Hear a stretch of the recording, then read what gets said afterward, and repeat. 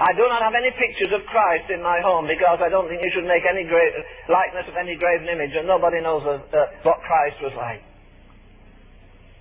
You see pictures of Jesus as a baby, you see him as a young man, you see him sometimes on the back of a, uh, an animal riding into Jerusalem. But there's a picture I've only ever seen once, and it was so grotesque I didn't look a second time.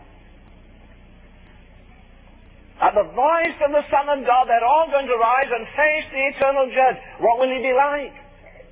In Australia, they showed me the picture that they had. Uh, Beach, Beechcroft or somebody, Beecher, uh, painted a picture of Christ in Australia. He's got lovely blonde hair and bright blue eyes and a, and a lovely flaxen beard. Well, I don't think that was a picture of Jesus.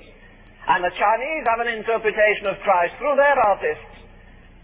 And, and, there are some dreadful pictures, I think, that have been given by the great masters, so-called. And, and they've given us pictures of Jesus.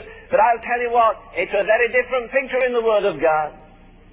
I believe that the Church of Jesus Christ needs a new revelation of the majesty of God.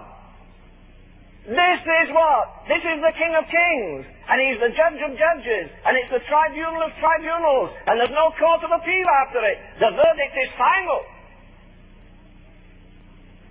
There'll be no biased judgment. Two people at least have said to me this week, there is no justice in the earth today. Maybe there isn't. But I hang on to a word that says, Shall not the judge of all the earth do right?